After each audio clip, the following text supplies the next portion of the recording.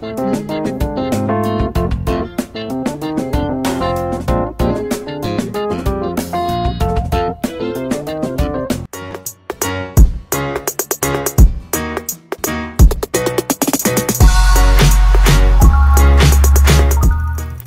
guys, today I want to talk to you about whether heating with a wood stove actually save you money.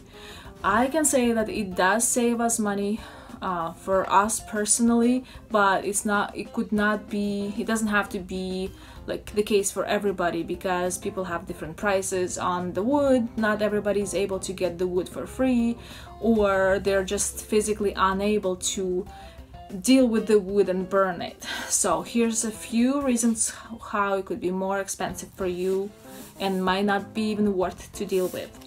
It might not be saving you money if you have just traditional normal fireplace like normal houses have which is like open like a big opening hole in the front and it's always open and it just like only gives you a little bit heat when you're actually using it but as soon as you, it cools off and you stop using it, it actually sucks the hot air out of the house and you're actually losing your heat in the summer uh, not in summer in the winter when you actually need it in the house. So another way might not be worth it if you pay a lot for your wood.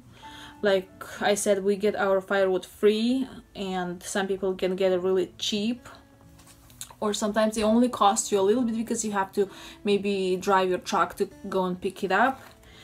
Um, also heating with firewood is a lot of work. Well not really a lot like a whole like uh, but it still work and if you're physically unable to like split the wood or stock it up or all that thing and you, if you end up to having to hire somebody to do it and you might end up paying them more money than it costs than you save by heating the wood. Depending on all this you can um, decide whether it save you money or not.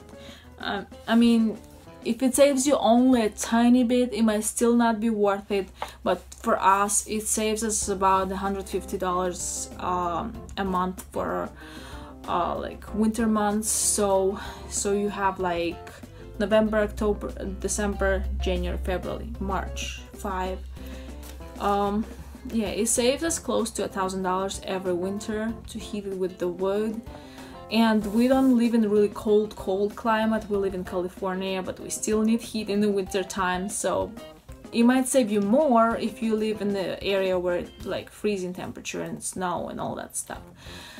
So you have to calculate all these costs. How much is it gonna cost you? How much are you gonna save? And if it saves you enough to have um, a firewood uh, like a wood stove because if you just have a normal fireplace it prob it's probably doesn't save you any money to use it because we used to have just regular fireplace and then we inserted a wood stove in it. And it, then we really started to be able to save money because before we still had to use heat and even though we were burning the wood and we still didn't save any money like maybe just a few dollars. So the regular fireplace it doesn't really save you money. It might be nice sitting by the fire but it doesn't save you money for heating the house. So hopefully this will help you to find out whether you still want to use um, regular heating or firewood to save you more money. And thank you so much for watching. And please let me know what are you using to heat your house in the winter? And does it save you money to do it this way versus maybe a different way you did before? Thank you for watching. Have a nice day and subscribe